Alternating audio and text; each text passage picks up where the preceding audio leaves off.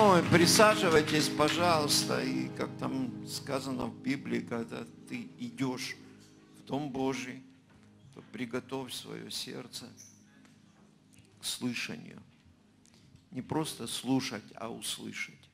Слышание – это значит, ты понял, что прозвучало. Давным-давно я задал себе вопрос, ну вот кто я по своей природе, ну, как христианин, потому что духовно родился в Большой Баптистской церкви в Краснодаре. Потом как-то Бог крестил меня Духом Святым, я стал пятидесятником. Ну и на меня стали так криво или косо смотреть в Баптистской церкви. И мы с небольшой группой людей начали Вифанию кто-то знает Вифанию в Краснодаре? Да, там тогда было 20 человек, там. Вот, потом это там что-то там такое харизматическое стало происходить. И, короче говоря, я понял, что я баптидесятник с харизматическим уклоном. И поэтому для меня очень важно библейские основания. Мы сегодня живем в такое время, когда на Слово Божье ну, буквально идет такое тотальное нападение через всякую философию, психологию, что только сегодня христиане не придумали, не создали, именно христиане. И поэтому стоять на Слове Божьем мы, у нас уже на протяжении там, больше 20 лет э, Христа Спасителя Церкви, э, кстати, привет от Церкви, э, есть утренняя молитва каждый день. И я там очень часто просто хожу и просто кричу в небо, Господи, помилуй нас от ереси. 44 года я служу Господу, я заметил, что так легко, вот так легко сползти куда-то. Вот буквально не заметишь, подсунет что-то дьявол. И поэтому я давно понял, что если Бог не помилует, ты обязательно куда-то, извините за это слово, вляпаешься. Поэтому наша молитва, Господи, дай, оставь нас на этом евангельском пути, чтобы мы были проповедником Евангелия, чтобы мы были христоцентричные люди, чтобы Христос был в центре всего нашего служения чтобы мы его проповедовали, мы о нем говорили, мы его исповедовали, мы им хвастались, гордились, если это можно так сказать, христианину. Поэтому я хочу поделиться таким, знаете, выстраданным словом. Слово, которое не просто евангельское, а слово, которое прошло через мое пасторское сердце.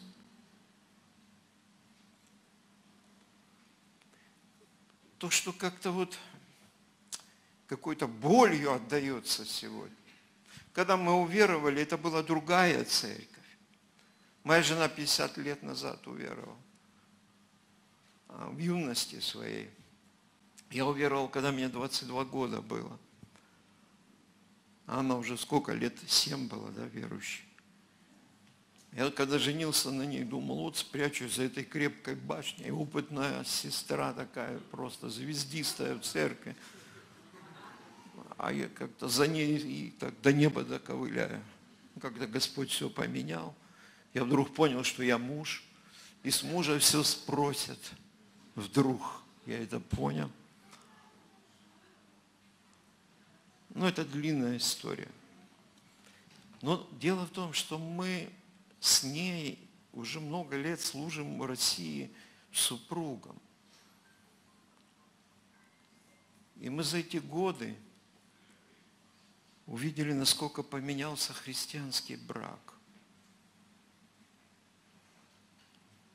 Насколько поменялась церковь. Насколько поменялись христиане – Поэтому я никого не буду сегодня обличать, но я хочу поделиться вот словом, которое ты, когда ты возьмешь свою жизнь и сравнишь с этим словом, то тебе что-то, наверное, Господь покажет. Я буду говорить о силе нашего слова. Там можно какой-то там включить, чтобы отчет был времени, чтобы я видел, такого нету. А, о, отлично. Это что за отчет?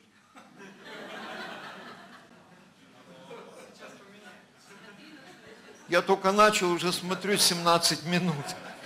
Что, у вас время в два раза быстрее? Хорошо живете. Год за два. Сила нашего слова. Вот сила твоего слова. Это, это вот, я думаю, что смерть и жизнь во власти языка. Верите в это? Да, это так Слово Божье говорит слова жизни или слова смерти, мы что-то всегда говорим. И вот что в твоем слове? Давайте мы начнем с того, я буду читать много мест, и если я хочу посоветовать, ну, если что-то тебе зацепит, ты поймешь, что это прямо тебе, запиши где-то это. Или потом возьми ну, эту запись проповеди и послушай. Сотник же, отвечая, сказал, Господи, это Матфея 8.8, 8 глава, 8 стих. Сотник же, отвечая, сказал, Господи, я недостоин. Христос ему говорит, ты подожди, я приду к тебе. А он говорит, я недостоин, чтобы ты вошел под кров мой. Но скажи только слово. Скажи только слово. И выздоровеет слуга мой. Вот, вот этот человек понял, что Христос – это Божий Сын, который имеет власть, когда Он говорит Слово.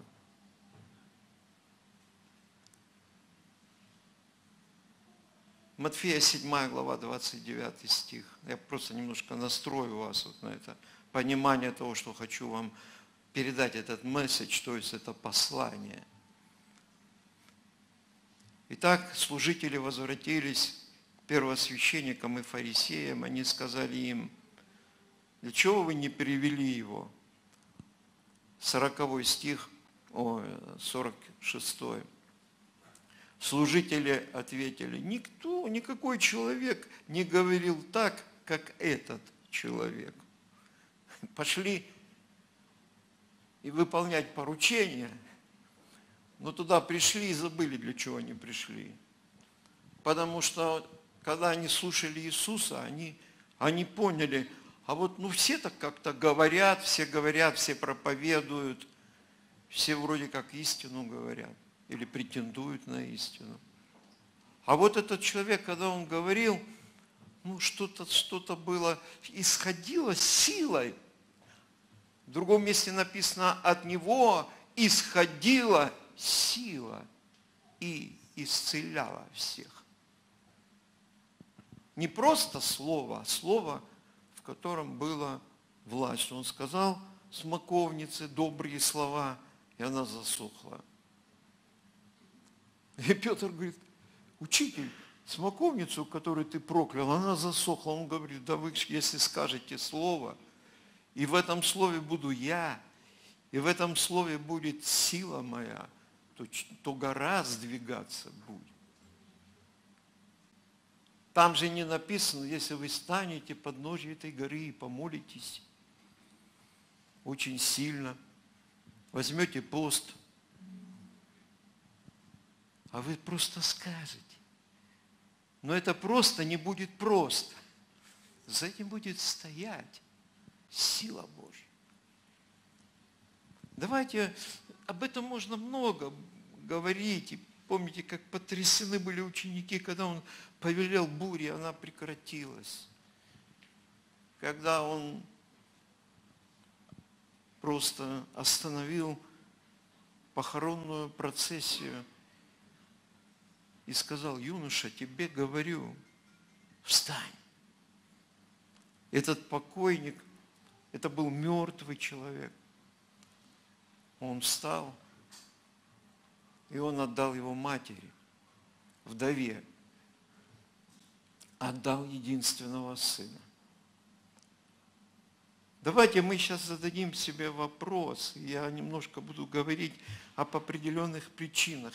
Это не просто легкое слово, это учение.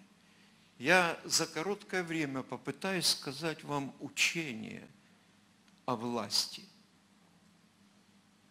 Оно касается тебя и меня, потому что мы, мы можем приходить в церковь и много-много правильного говорить. Просто есть обстановка такая, атмосфера, хорошая атмосфера. Славить Господа, хорошая атмосфера на молитву или помолиться самому, или на молитву сказать аминь, с верой сказать, искренне сказать. Но вот ты приходишь домой.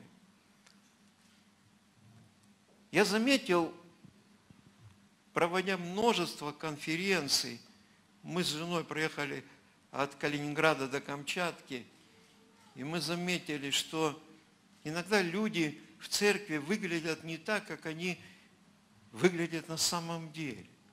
Вы заметили, что в доме своем ты не можешь ходить в маске.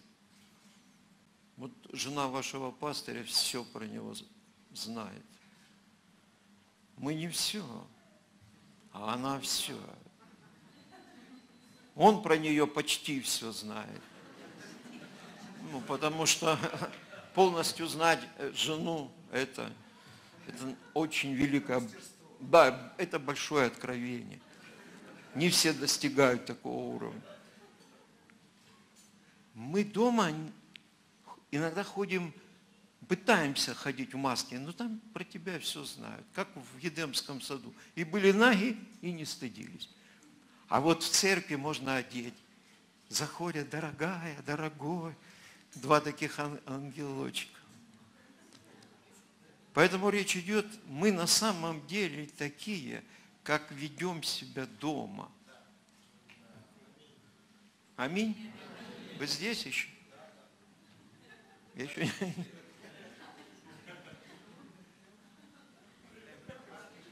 Да нет, 33 ну, минуты. Это мне осталось, что ли? А?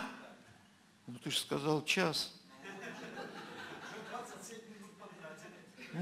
Это неправда.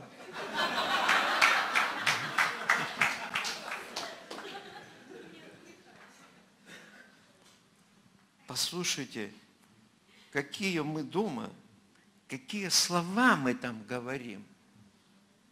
Вот это и есть, кто мы. Или мы говорим там слова мира, любви, устройства. Какое слово? Павел говорит, слово мое и проповедь моя не в убедительных словах человеческой мудрости, но в явлении духа и силы. Чтобы вера ваша утверждалась не на мудрости человеческой, а на силе Божьей. Он здесь говорит, слово мое – это отдельно, и проповедь моя. Я всегда думаю и боюсь этого, чтобы я в проповеди говорил одно, а слово мое дома было другое. Вот если разницы между этим нету, то вы блаженны. Вы всегда будете говорить слово силы. Вопрос иногда не в вере, когда ты говоришь слово. Мы очень много обращаем на веру, когда говорим. Нам надо обращать на веру в силе Духа Святого. Или сильное слово ты сказал. Или просто ты форму сказал. Имеющий вид, помните, второе послание Тимофея, третья глава, он там перечисляет, говорит, времена тяжкие, и, говорит, э, будут люди иметь вид. Вид. Вид хорошего, правильного, а содержания нет. От силы его, от силы его отрекшись всем своим образом жизни. Павел говорит, вот мое, мое слово и учение мое, оно в явлении духа и силы. Он говорит, ничего я такого не сделал, через меня Господь сделал в проповеди язычников, я не могу сказать, что Он чего-то не сделал. То есть Он и чудеса творил, и мертвых воскрешал, и многое-многое делал. И вот Он говорит, это явление духа и силы. И вот две причины. Я сейчас быстро буду говорить о двух причинах, которые делают наше слово пустым. То есть форма есть, учение есть. Вот представьте такой головастик. Голова вот такая. От учений, от знаний, от прочитанных книг. А ручки такие маленькие, ножки маленькие, еще парализованные такой рахитик. Вот это вот христианин, который много знает, правильно все понимает, но суть его, но он не живет соответственно этого слова, и слово не наполнено силой. Две причины. Первая причина, она очень тонкая. Они бы отдельно говорить и целую конференцию бы провести. Это неправильное хождение, это неправильное служение, это не есть вот понимание, слушайте внимательно, того призвания, к которому призвал тебя Господь. Это человек все время где-то около, он все время в родах и не рождается, он все время собирается, но не идет – он все время слышит призыв, пастырь его ловит и говорит, слушай, ну вот, я же понимаю, что Бог тебе что-то вложил, тебе надо это делать. Он говорит, да, пастырь, конечно, вот сейчас домик дострою, то сделаю то это, а потом приду и буду вообще вот прямо тебе в рот заглядывать. И вот он все время собирается. Как царь Видон, помните в той сказке? А вот это вот кривое, что-то неправильное, как будто человек, но это пророк, который не послушен Богу постоянно. Это пророк, у которого скверный характер. Это пророк, который получает что-то от Бога и начинает людей избивать, раздевать, а не одевать, огорчать, обличать, но не утешать, вот здесь? Это вот, это большая тема, но послушайте, я, а вот Иеремия 23 э, глава, ну, тремя стихами попробую вот отразить это, потому что Слово Божье очень содержательно. Посему вот я, это Господь говорит, на пророков говорит Господь, которые крадут Слово Мое друг у друга. Толковать не буду. Вот я на пророков, говорит Господь, которые действуют своим языком, а говорят, он сказал. Вот я на пророков ложных снов, говорит Господь, которые рассказывают их и вводят народ мой в заблуждение своими обманами и обольщением, тогда как я не посылал их и не повелевал им – и они никакой пользы не приносят народу всему, говорит Господь. Я их не посылал, они побежали. Я им не говорил, они говорят. Они говорят, снилось мне, снилось мне. Но говорят, это снилось, как пророческое слово. Сегодня этого сколько хотите в церквах. Сколько хотите. То есть что-то происходит. Дайте мне кто-нибудь салфетку обыкновенную. А, ну, ну а что, ну ложите цветные тут.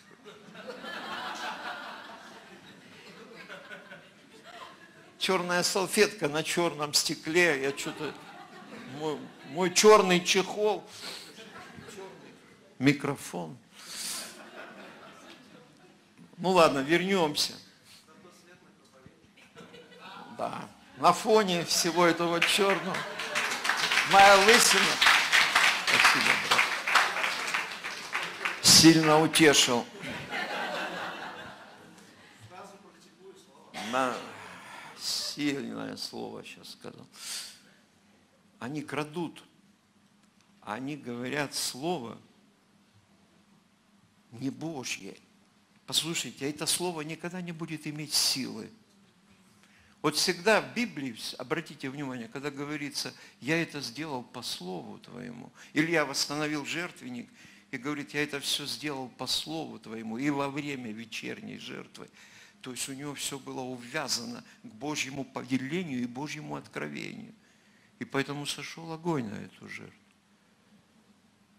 Это одна сторона. Я тороплюсь.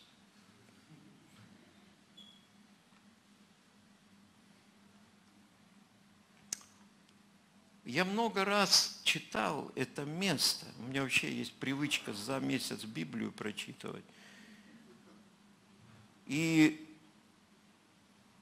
я читал ее, читал это, это место. И как-то, ну, ну вот один раз, сейчас, как бы мы сейчас немножко будем говорить о второй стороне.